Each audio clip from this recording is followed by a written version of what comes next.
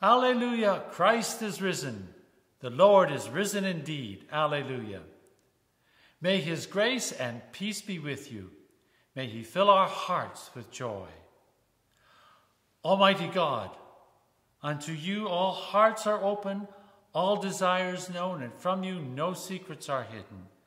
Cleanse the thoughts of our hearts by the inspiration of your Holy Spirit, that we may perfectly love you and worthily magnify your holy name through Christ our Lord. Amen. Glory to God in the highest, and peace to God's people on earth. Lord God, heavenly King, almighty God and Father, we worship you, we give you thanks, we praise you for your glory. Lord Jesus Christ, only Son of the Father, Lord God, Lamb of God, you take away the sin of the world, have mercy on us. You are seated at the right hand of the Father, receive our prayer. For you alone are the Holy One, you alone are the Lord. You alone are the Most High, Jesus Christ, with the Holy Spirit, in the glory of God the Father. Amen.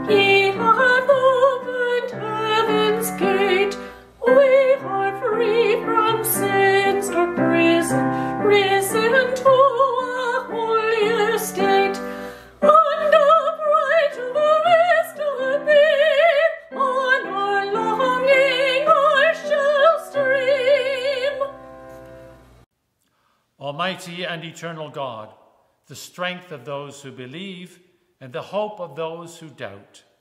May we who have not seen have faith and receive the fullness of Christ's blessing, who is alive and reigns with you in the Holy Spirit, one God, now and forever.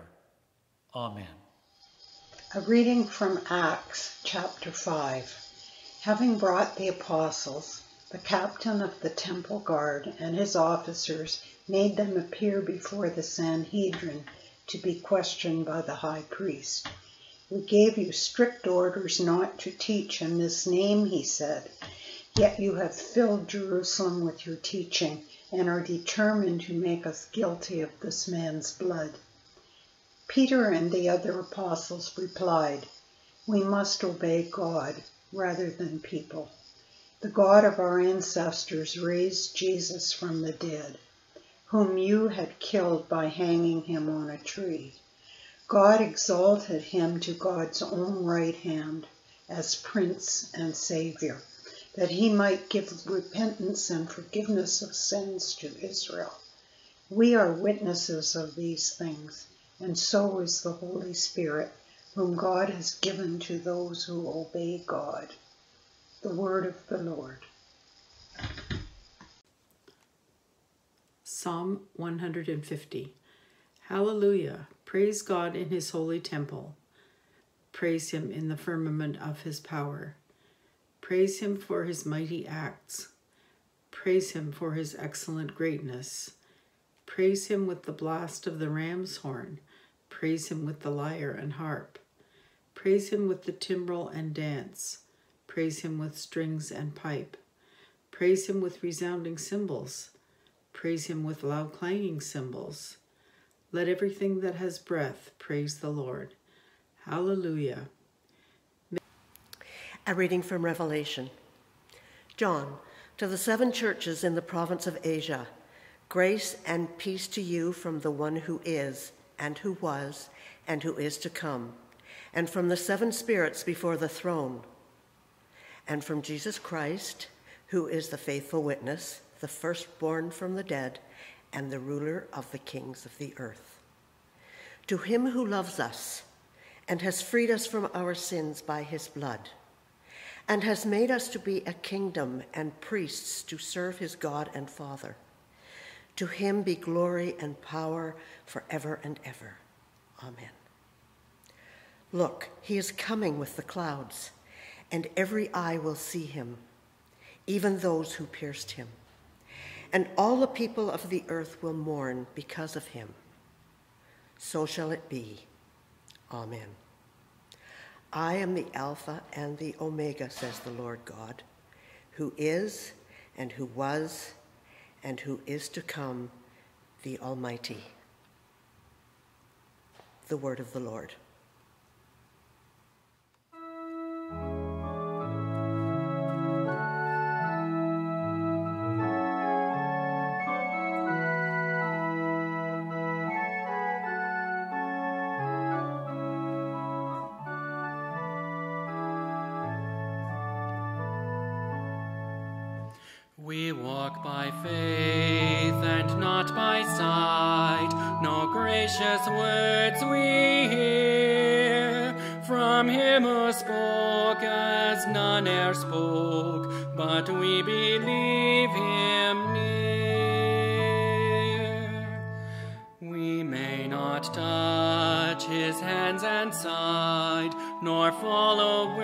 He trod, but in his promise we rejoice and cry, My Lord and God. Help then, O Lord, your unbelief, and may our faith abound to call on you when you are near and seek where you are found.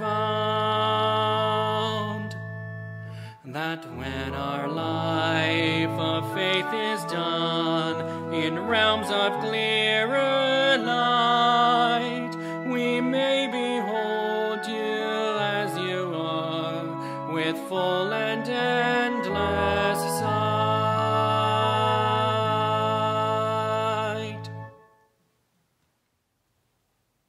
The Holy Gospel of our Lord Jesus Christ according to John.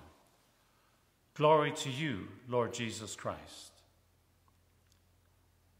On the evening of the first day of the week, when the disciples were together, with the doors locked for the fear of the religious authorities, Jesus came and stood among them and said, Peace be with you.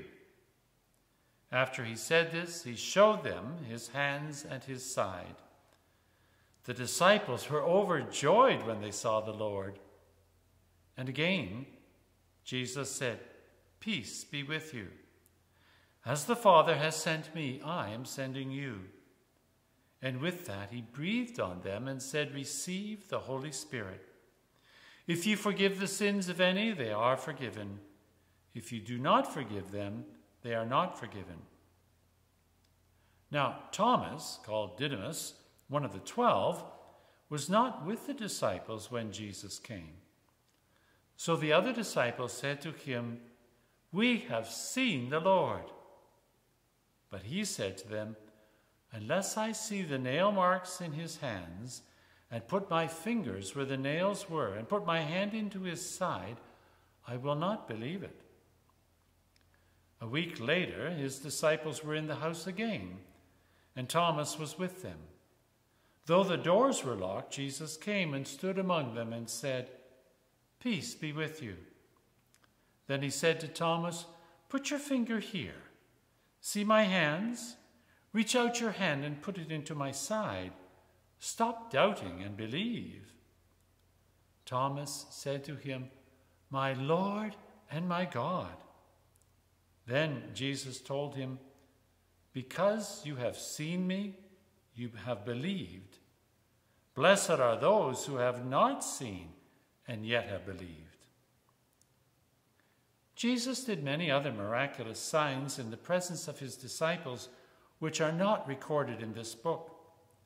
But these are written that you may believe that Jesus is the Christ, the Son of God, and that by believing you may have life in his name. The Gospel of Christ. Praise to you, Lord Jesus Christ. In the year 2061, Halley's Comet will come back and visit our sun, provided, of course, it doesn't run into Jupiter or Saturn or Uranus or some other large body or even a small body out there in wherever it lives in the 76 years between visits to the inner solar system. Now, to put that in perspective, 76 years it takes for Halley's Comet to come in and back out and back in again. The farthest of our planets that we learned about when we were children, Pluto, which lost its status, now is a minor planet. The orbit of that planet is 248 years. It takes 248 years for it to go around the sun all the way and back to the beginning. Our planet is only one year to get around. Now, when we were children, we were given pictures of planets, and sometimes in science projects, you might have made models of the sun, and then Mercury, and Venus, and Earth, and Mars, and Jupiter, and Saturn, Uranus, Neptune, Pluto, each one according to its size, the sun the biggest, Mercury pretty small, Earth and Venus about the same size, Mars small again, huge Jupiter almost as big, and so on. Each of those planets, we see them together. And when you look at things like uh, Star Trek, for instance, when on the rare occasion when the uh, spaceship comes back into our own solar system, you see, perhaps sometimes you'll see it passing Jupiter and uh, or passing Saturn, I guess, on the way in, and there's Jupiter in the background. But the reality is, you cannot see one of those planets from another except as a point of light. I mean, Venus and Mars are our two closest planets. They're closer to us than Jupiter is to Saturn, and yet they're only points of light in the sky.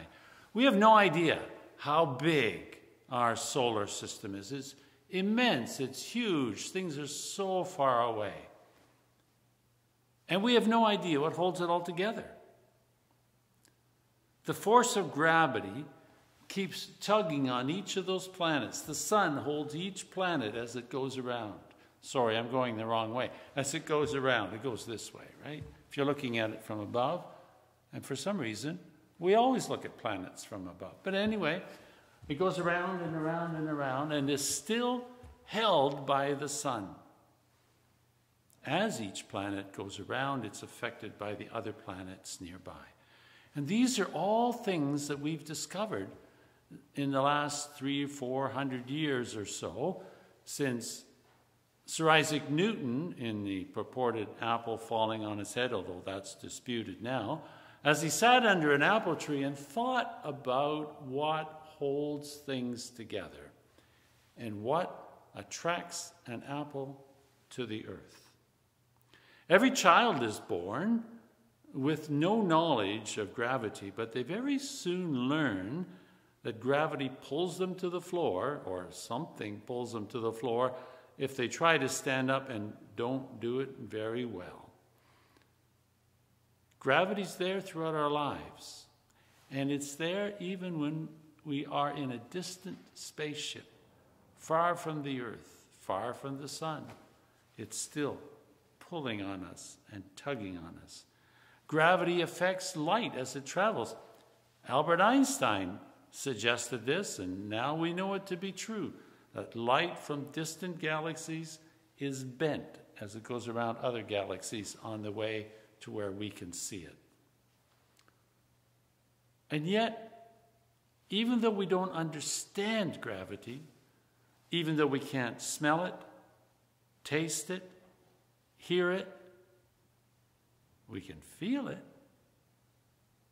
We can't see it.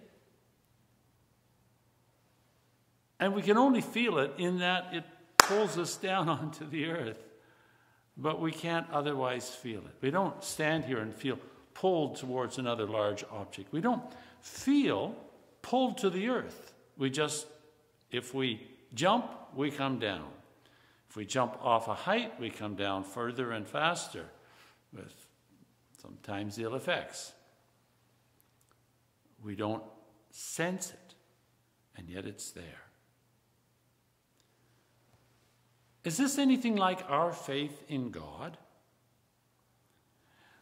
The apostles saw the risen Lord, all but Thomas. Thomas wasn't there. And they told Thomas, and they were so excited about what they had seen. We have seen the Lord. And all, not only that, Jesus appeared to Mary. Jesus appeared to a variety of people, but not to Thomas until a week later. And when Jesus finally came, Thomas, who had doubted, and we, we call him doubting Thomas because he was one of the he was the last of the eleven to see Jesus. Thomas doubted until Jesus appeared before him. And Thomas had said, Unless I put my hand in the nail prints in his hands and in the spear thrust in his side, I won't believe. But it didn't seem he needed that when Jesus appeared. He right away said, My Lord and my God. Thomas believed when he saw Jesus. And we don't know, it doesn't say that he put his hand into the wounds of Christ, but we do know that he believed. And he was a very fervent and uh, prolific apostle.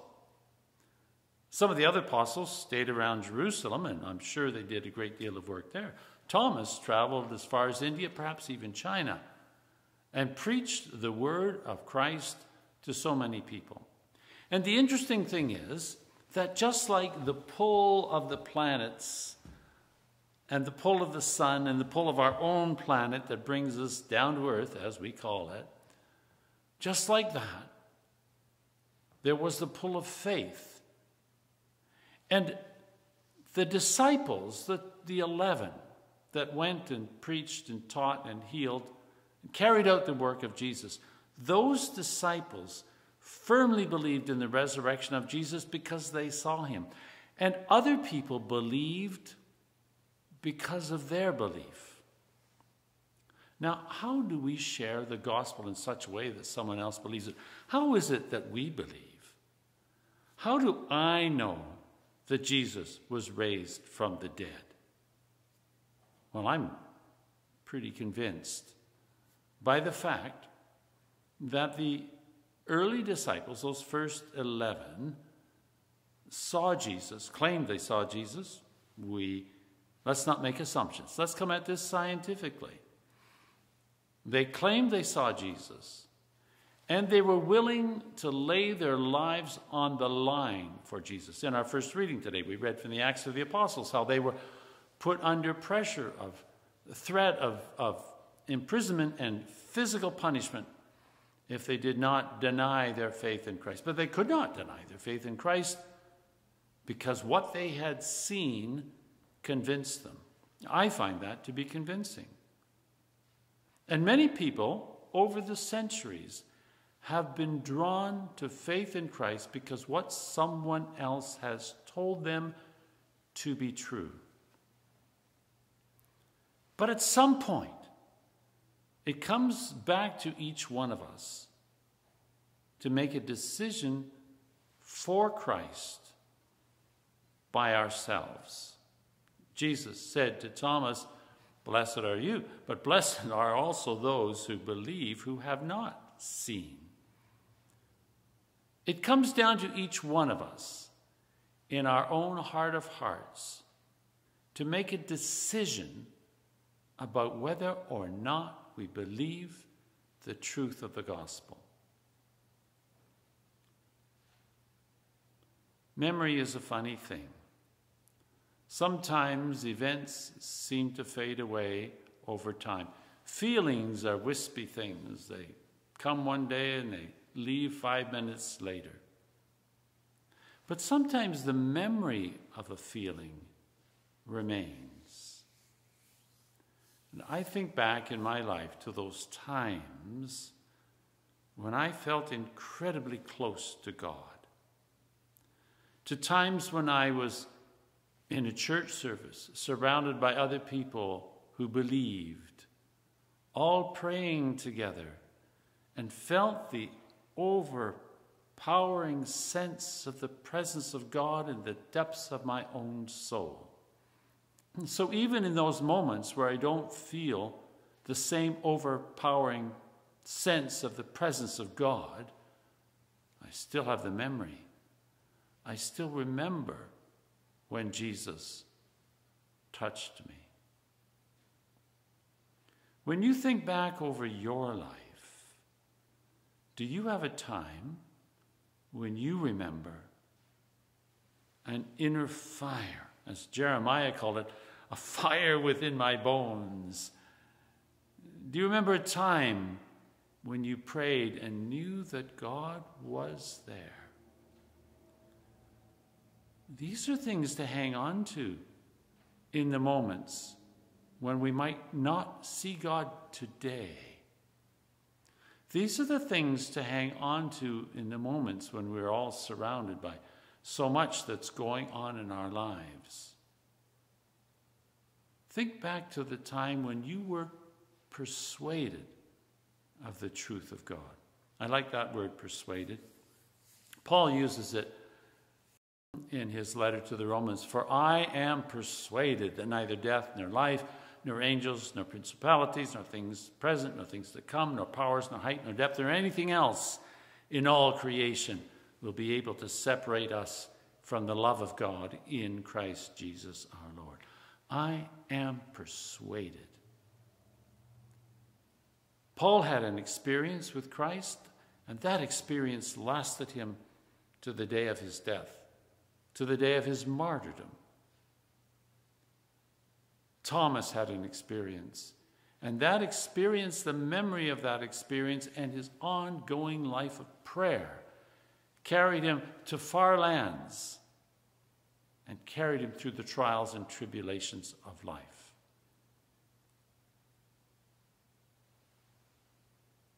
There are also times, and there are also people who have no memory of such an experience,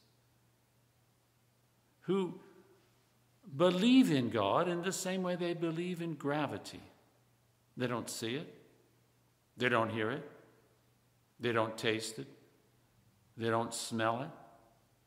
There is no way to sense the presence of God, there's no way to sense the presence of gravity. But the fact that Halley's Comet comes back every 76 years, the fact that every year the Earth is on the same side of the Sun at the exact time predicted, helps us to believe in the reality of gravity. And sometimes it's looking at the universe in which we live, in understanding the wonders of creation the smallest atoms and the parts that make up the atoms and the forces that hold together the parts of the atom, the fact that electrons still go around and the quarks and the quarks that are all within the tiny, tiniest bits of creation. All of those things holding it all together. For some people, is the evidence and the truth that God is. For some people, it's to see beauty and laughter. For some people, it's to watch an animal rejoicing in life or to see another human being survive against incredible odds, to laugh in the face of suffering, to rejoice in the presence of loss. Sometimes it is the faith of others that gives us something to hang on to. We don't need to understand God, to believe in God. We don't need to know the answers to trust in God. I trust in gravity. I know I'm not going to float off, even though in my dreams sometimes I do fly. But I know in reality you cannot jump off the top of a building without serious trouble. I know that gravity exists, and I know that God exists. And it doesn't matter how much or how little I see God. I see the effects of God. I see how God pulls people together. I see how God transforms hearts. I see how God gives courage. I see how God gives faith. I see how God gives hope. And when I see the work of God in this world, it makes me believe. I believe in science. I believe in gravity. I believe in electromagnetic pulses. I believe when I see the birth of a child. I believe when I see the child's first smile and laugh. I believe when I see God's joy in the hearts of others. I believe, as Thomas believed, that Jesus is brought back from the dead that Jesus has put an end to our sin, that Jesus gives us new life. At the end of our services, we often say that doxology, and it means so much to me because it is so true. Glory to God, whose power working in us can do infinitely more than we can ask or imagine. Glory to God from generation to generation in the church and in Christ Jesus forever and ever. Amen. Let us confess the faith of our baptism as we say, I believe in God, the Father Almighty, creator of heaven and earth. I believe in Jesus Christ, his only Son, our Lord. He was conceived by the power of the Holy Spirit and born of the Virgin Mary. He suffered under Pontius Pilate was crucified, died, and was buried. He descended to the dead. On the third day he rose again. He ascended into heaven and is seated at the right hand of the Father. He will come again to judge the living and the dead. I believe in the Holy Spirit, the Holy Catholic Church, the communion of saints, the forgiveness of sins, the resurrection of the body, and the life everlasting. Amen. In joy and hope, let us pray to the source of all life, saying, Hear us, Lord of glory. Hear us, Lord of glory. That our risen Savior may fill us with the joy of his holy and life giving resurrection, let us pray to the Lord. Hear us, Lord of glory. That isolated and persecuted churches may find fresh strength in the Easter gospel let us pray to the Lord. Hear us, Lord of glory. That he may grant us humility to be subject to one another in Christian love, let us pray to the Lord. Hear us, Lord of glory.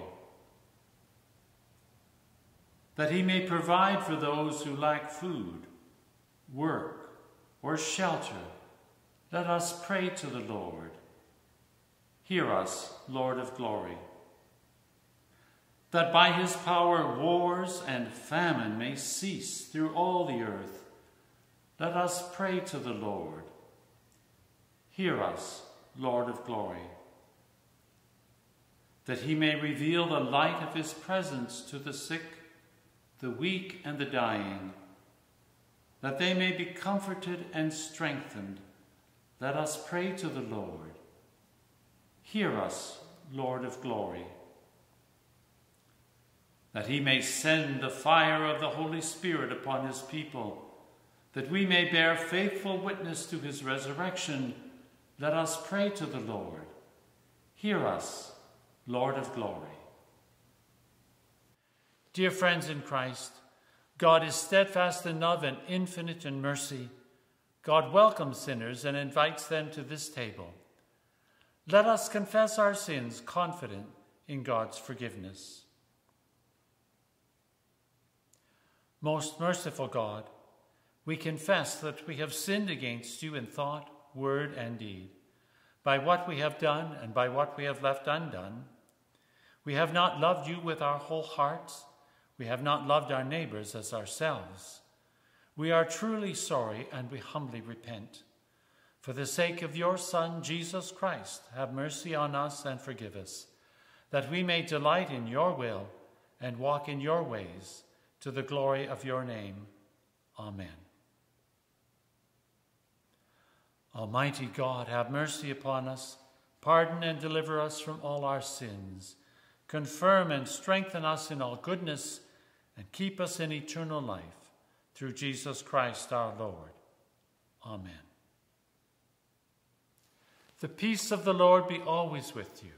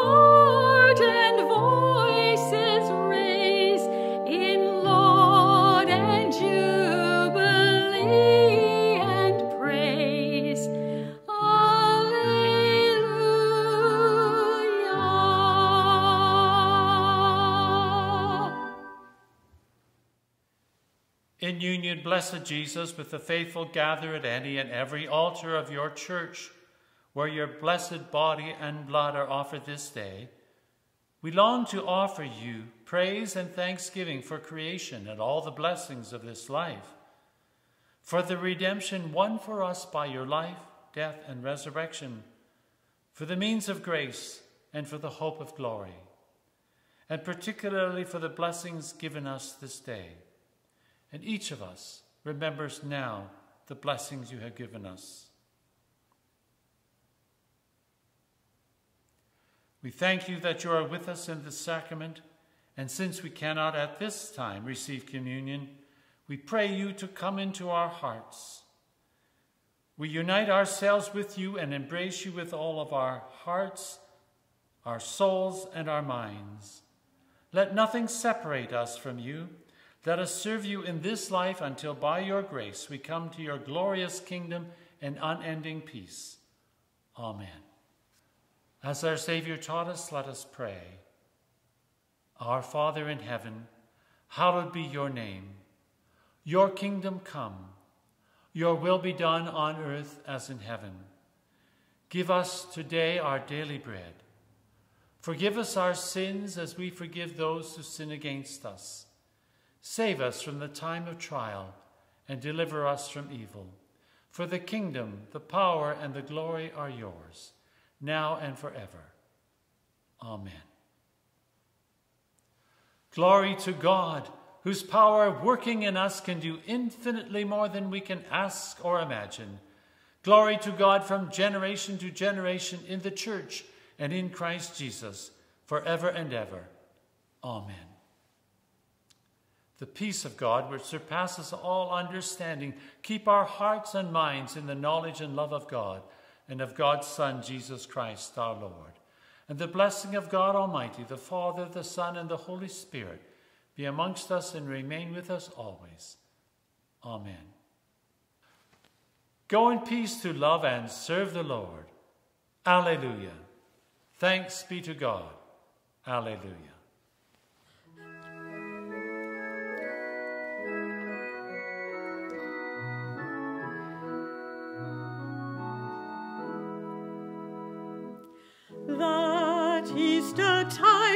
Joy was bright.